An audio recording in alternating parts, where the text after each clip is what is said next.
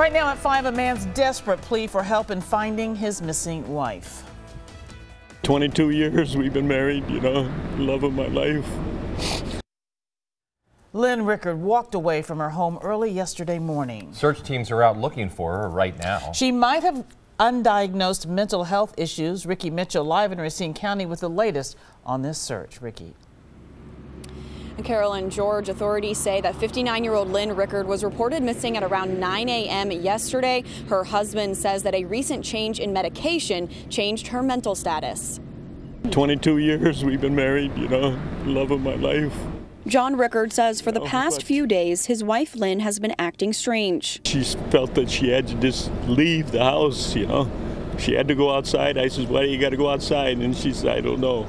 John says she hasn't been the same since doctors prescribed her a new medication following a trip to the hospital. They found a spot on her lung and she went into the hospital and they took her off her Xanax and they put her on the other stuff in three days. She was paranoid. Early Sunday morning, Lynn reportedly left her home in Kansasville without shoes and without her oxygen tank.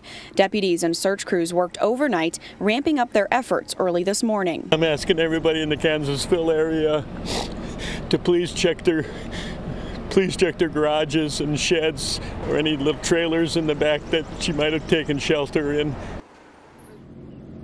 The Racine County Sheriff says that all available resources are being used right now in the search for Lynn. Authorities say that she may be scared and skittish, so they're asking that if you see her, do not approach her, just call 911 immediately. Reporting live in Kansasville, Ricky Mitchell, today's TMJ4. Let's hope she's found. Thank you very much, Ricky.